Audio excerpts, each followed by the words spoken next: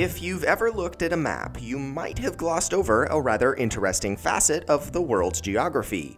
Most of the Earth's landmass drips off to the southern tip of the globe. This phenomenon is known as continental drip, not to be confused with the much more common natural phenomena, continental drift, which describes the shifting of tectonic plates. Africa, South America, India, Greenland, nearly every landmass on Earth has a trailing edge pointing towards Antarctica. This observation was first made by Ormondo de Kay in a 1973 paper titled More Random Walks in Science. de Kay meant the paper as a purely tongue-in-cheek observation, but it pointed out a very real and confusing phenomenon with our world's geography. Another scientist and writer named John C. Holden expanded on the idea in a book he published in 1973.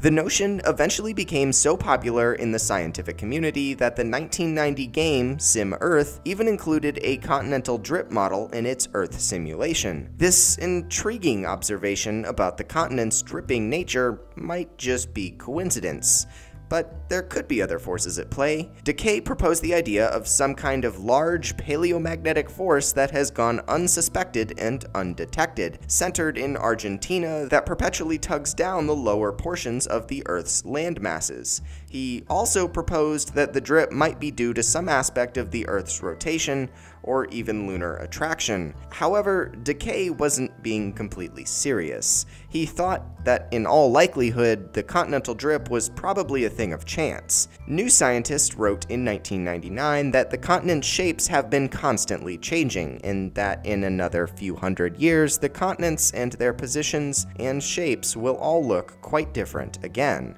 Maybe the dripping of the continents is all just random chance, or maybe there's a mysterious primal force pulling all of our land down to the bottom of the earth. What do you think?